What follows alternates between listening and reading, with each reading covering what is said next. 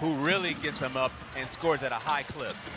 Yeah, Harper has been out the last four games and now make it five with a right wrist injury. Payne from downtown. Thias tied for a team high 13 points. Antonius Cleveland padded that lead a bit.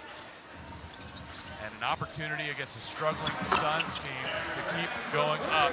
Cam Payne. Payne drives, hits. Timeout Northern Arizona.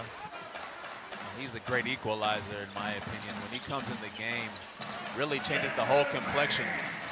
As we see Cam Payne go in and get that patented floater that he has. Inside. And Cam Payne, he's up to 12 points. Straight to the draft after one year at the prep school. Easy. Undrafted, but a high, high ceiling. Atlantic 10 sixth man of the year as a sophomore for the Richmond Spiders. Cam Payne up to 16 points.